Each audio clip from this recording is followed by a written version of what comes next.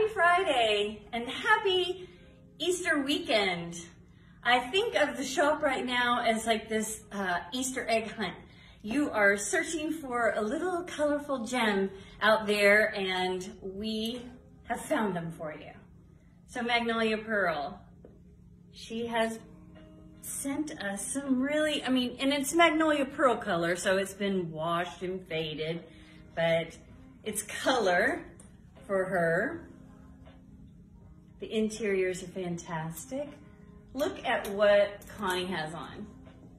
So paint, flannel, and then the interior, you can also wear that rose pattern, which we've seen in some of her tops before.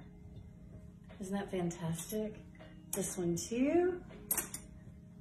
There's the interior is the same, and then the exterior is this wonderful blue and golden paint splattered flannel that you could treat like a little denim jacket. so come on over and I'm also gonna show you Marian Paquette's handbags. This one has a great strap. You can disconnect it, fold it over. The colors just go back beautifully to our spring pieces. The details in the handles, some carved wood, just really exquisite. They are not for everyone, but they are great statement pieces. So if you had on a look like Pearl here and that handbag that the Amy just showed you, you would um, be knocking it out of the park. This is one of those jackets that's become kind of hard to find. So we've been shipped some exclusives from Magnolia Pearl that they've sold out on their own websites. And we've got a few of them. So just singles. As you're flipping through our Magnolia Pearl section of our website, that's where you want to look for those. Yes. Don't forget to show you what I have on. We'll come around here and show you a little bit more color in the pieces that have come from Argentina. Ada belts are just spectacular this season.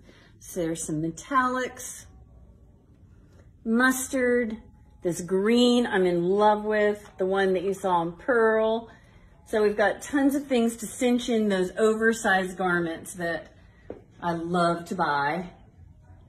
Doesn't this display just make you happy and cheerful?